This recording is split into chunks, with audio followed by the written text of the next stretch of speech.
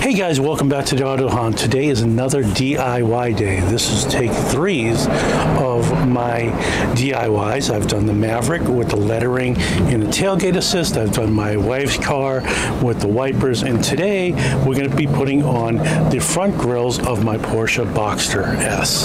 So I sourced mine through a company called the Radiator Grill Store. Now this is not a paid sponsorship. However, I will tell you that the first set of grills that I put on the car were on the sides, on the intakes, and they looked phenomenal. They fit phenomenal, and literally took me about three minutes per side. Super, super easy to do. So right here you can see that the car doesn't have any radiator grills in it whatsoever.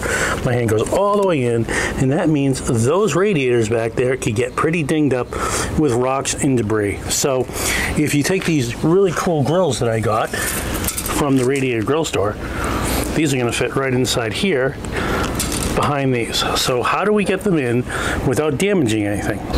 So you can see right here, these are where the tabs are underneath here, and there's one right underneath here. So what I've done is I've already released it because I'm doing this with one hand, and you pull this out like so.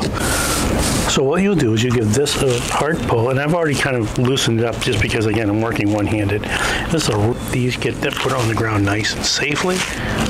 So line them up on the outside of the car just to see what they're going to look like. These come in two pieces, this piece and this piece are, and you slide it into the grill itself. And you can see it just slides in ever so gently. Right tie wraps on here. You slide it in, like so.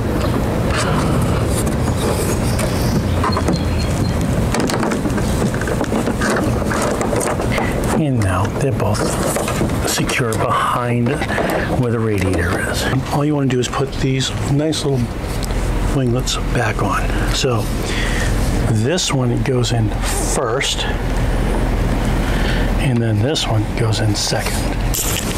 Well, there it is, all completed. Um, I took these off completely, the strakes off completely. They're a little loose up on the front. Uh, however, on the other side, I tried something a little bit different. I left these completely attached and they're not as loose. And it came out, I think, looking a little bit better.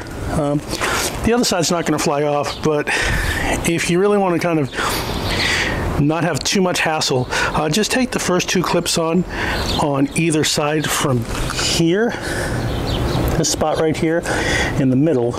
Leave this one. Don't mess with that one. Otherwise, you're not going to get a tight fit unless you're like really good at this stuff and I'm not. So uh, this has been the Auto Hound. If you like this type of content, please make sure you like, comment, and subscribe. And remember, it's about the drive.